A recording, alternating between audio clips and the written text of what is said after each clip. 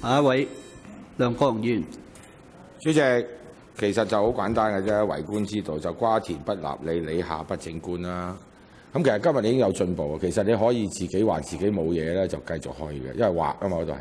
咁你今日就有進步，就話我俾你講下啦，我就申報咗利益㗎啦，你哋睇咗我申報嘅利益，咁之後咧就睇下俾唔俾我做啦。咁啊當然係進步嚟嘅呢個，你係夠膽去面對個挑戰。不過而家我就挑戰你啦。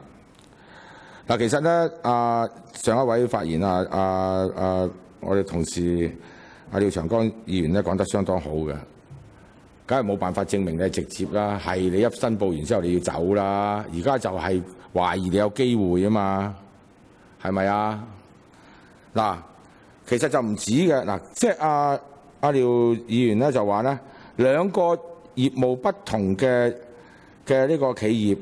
咁點能夠即係一齊係去相提並論呢？現代嘅企業就根本都係咁噶啦，因為呢一個新鴻基係大股東，係 Smart 通嘅大股東，咁佢支持你入去做執董，咁啊同你係咪有關係啊？有啊嘛，係利益關係嚟噶嘛，係咪好重好重啫嘛？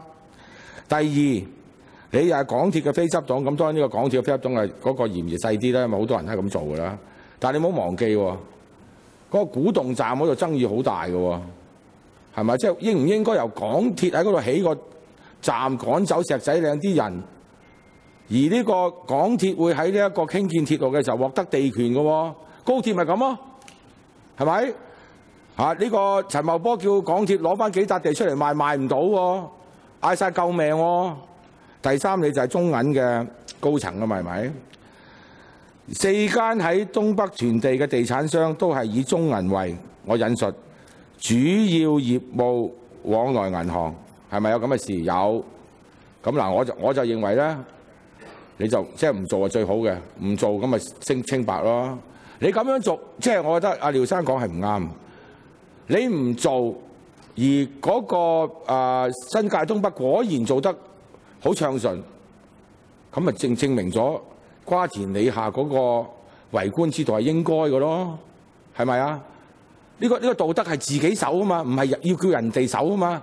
一個人有冇道德係自己提出嘅道道德，自己率先守，然後有私德之人先至可以提倡公德，就咁簡單啦。